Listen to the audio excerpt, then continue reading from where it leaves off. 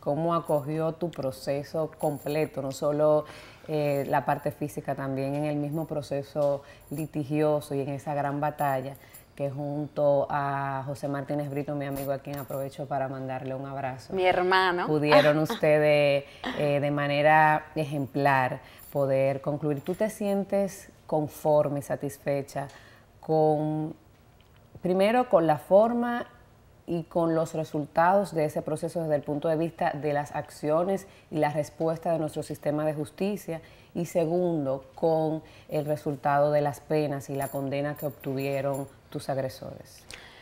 Pues digamos que sí, con el proceso judicial eh, estoy conforme porque la condena que se emitió me parece que fue eh, la más rigurosa desde el punto de vista de lo que se se podía, en ese momento. Exactamente. Ahora, lamentablemente, nosotros no tenemos, eh, digamos, una policía eh, eh, con, una alta capacidad de recoger de las pruebas, como a veces lo vemos en televisión, sí, tipo CSI. Y entonces, en algún momento en el proceso, pues quedaron algunos baches que no, no que permitieron que no se condenara a los demás implicados. Sí, que el proceso también tuviera sus altas y bajas, como eh, dimos seguimiento, hubo que apelar la primera sentencia que, con la que ustedes obviamente no estuvieron, ni la sociedad tampoco estuvo conforme.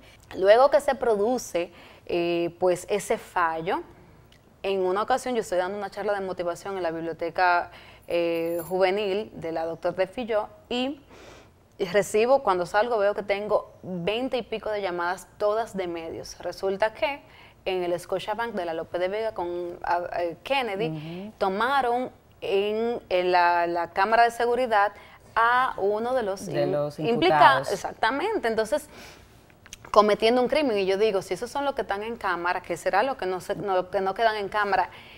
Es un asunto de tranquilidad, de yo saber que no va a haber otra Francina, que no va a haber un por lo menos yo hice lo que tenía que hacer como ciudadana para asegurarme de que... Es un compromiso eh, ciudadano y de responsabilidad social, no solo con los tuyos, sino también con toda la población que pudiera verse también afectada en un futuro y ojalá que no, ojalá que no tengamos más Francina Hungría desde ese punto de vista negativo. Es tiempo de ir a una pausa, regresamos con más. La